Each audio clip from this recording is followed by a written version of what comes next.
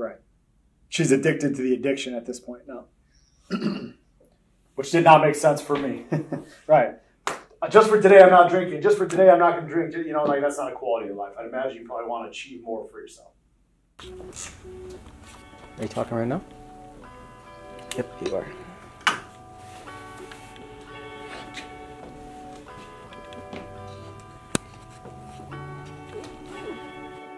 So let's just talk about the relationship with alcohol moving forward. Do you want to gain control, meaning which you already can, like be able to learn how to control it so you don't get past that point? Uh, drinking with a wife or on a wedding somewhere or a celebration somewhere or on vacation, you can the actions. You want to do nothing, stay right where you're at, being able to stop, start, stop, start. Or do you want to be completely out of stop? There's really no wrong answer. Just what do you want, Patrick?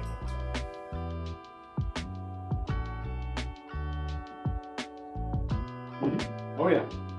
So you you can stop at any point, is what it sounds like.